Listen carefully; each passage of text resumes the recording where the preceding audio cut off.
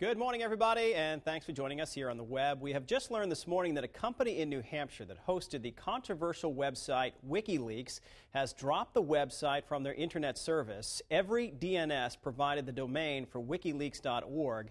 The company based here in Manchester said WikiLeaks was being targeted by too many hackers and that was threatening the network.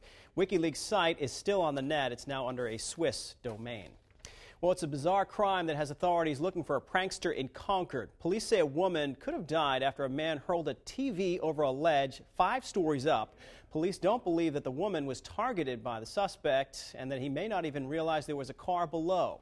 On Tuesday evening in Concord, 20 year old Kalina Guzman was leaving the Capitol Commons parking garage when a television set came crashing down on her car. The TV left a massive dent in her passenger door and smashed the window, leaving her covered with glass. Police obtained surveillance video from the parking garage, which shows the man taking a TV right onto the elevator. Once on top the garage of the garage, he gets a, a sprinting head start and then heaves the TV over the side. Guzman was not hurt. No, the night it happened, I, I had had somebody drive me home, and I just could keep hearing that huge boom, like, like a gunshot. It's unexplainable. And I just felt like the window was just going to crack at any minute you know. So it's very nerve wracking.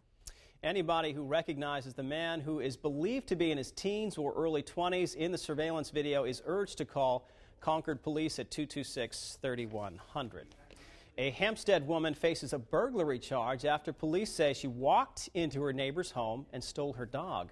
61 year old Carol Cascadden admits to letting herself into her neighbor's home on November 9th, but Cascadden claims her neighbor owed her money and she chose to take the small dachshund, eh, dachshund as a form of revenge. Cascadden says her neighbor hadn't paid her the nearly $500 she was owed for reupholstering her chairs.